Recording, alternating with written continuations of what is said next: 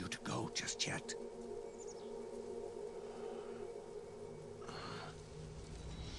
It's been a long time, Snake.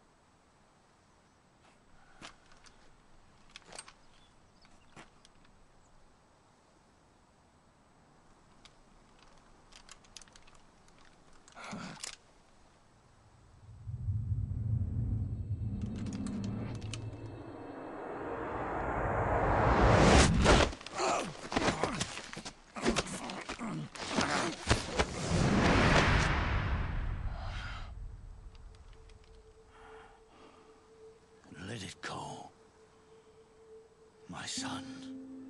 I'm not here to fight. Or should I call you brother? What? It's over. Time for you to put aside the gun and live.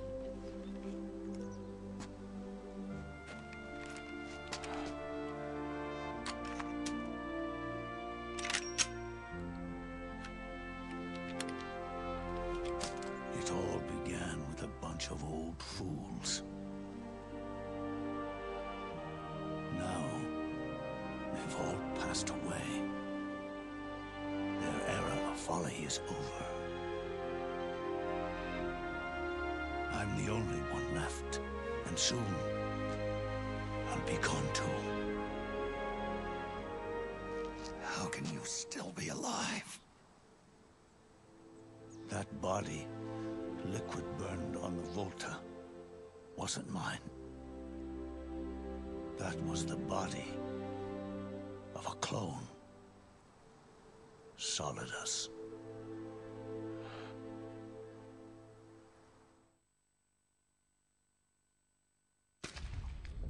He was a perfect clone. Zero and the proxy AIs that came after him were convinced that Solidus was me. I was implanted with nanomachines, kept in a state of eternal sleep by JD and the proxy AI. They had me sealed away completely. Not only my physical body, but my will too. The technology was similar to what they used to restrain the B&B members you encountered.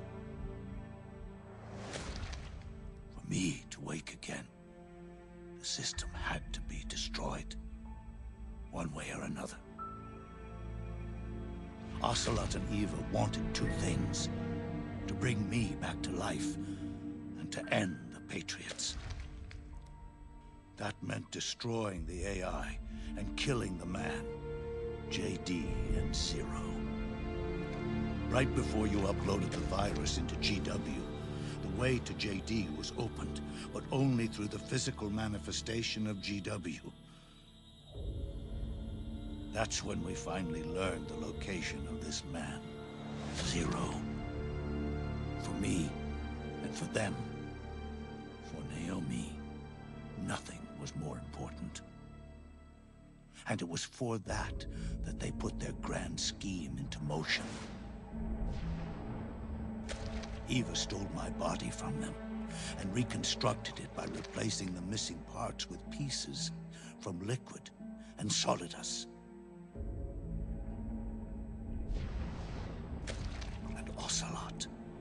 Order to fool the system, used nanomachines and psychotherapy to transplant Liquid's personality onto his own.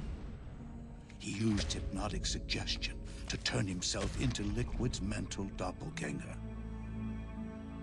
For all our advances in nanotechnology, information and genetic control, they've never managed to control people at will, let alone turn one person totally into another.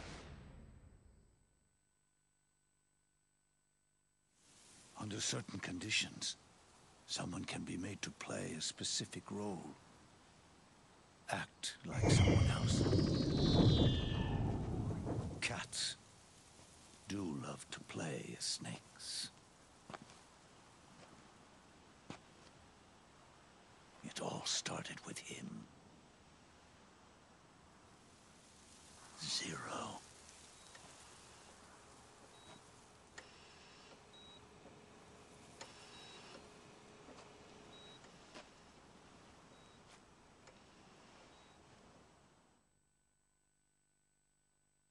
Zero grew old, and by the end his Patriots were being run by a network without shape or form.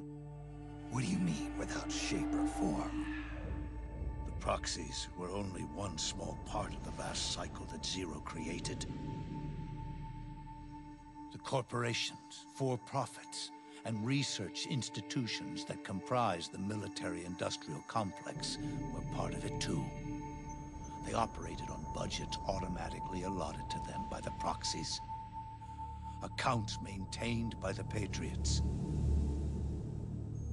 The network covered everything from weapons R&D and investment to production and marketing. It encompassed the people, the companies, even the laws that protect them. Politics and economics became nothing more than iterations of the same oppressively uniform system. I don't think anyone realized that it was all a setup, a mere set of norms. The Patriots were those norms, a neural network reduced to its simplest form.